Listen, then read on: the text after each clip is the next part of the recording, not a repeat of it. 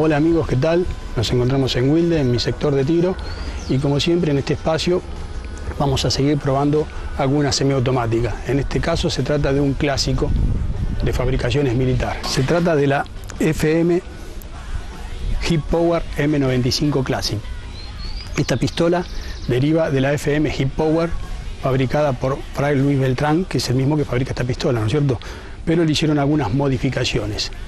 Se trata de una pistola de simple acción, tiene un martillo segrinado que es muy cómodo para montar, ¿eh? no hay posibilidades de que se escape. Tiene un acabado negro satinado, la corredera se extiende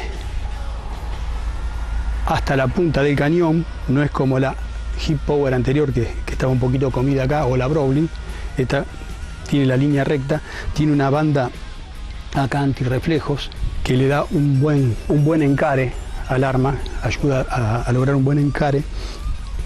Tenemos el guion y el alza insertados a cola de Milano y tienen un rectángulo en vez de punto que permite un buen encare rápido. Tiene sobre la derecha la ventana de expulsión de vainas, es la clásica, ¿no? Browning, chica, es chica, en realidad chica.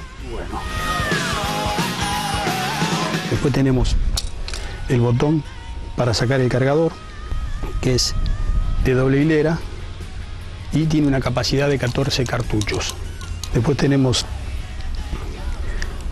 la, la, la palanca acá para trabar la corredera, que es la misma que trabaja de bloque de desarme. Es una sola palanca.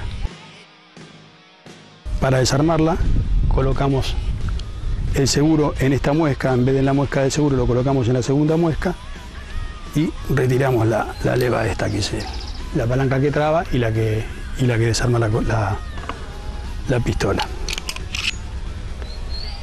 Y ahí ya la tenemos totalmente desarmada.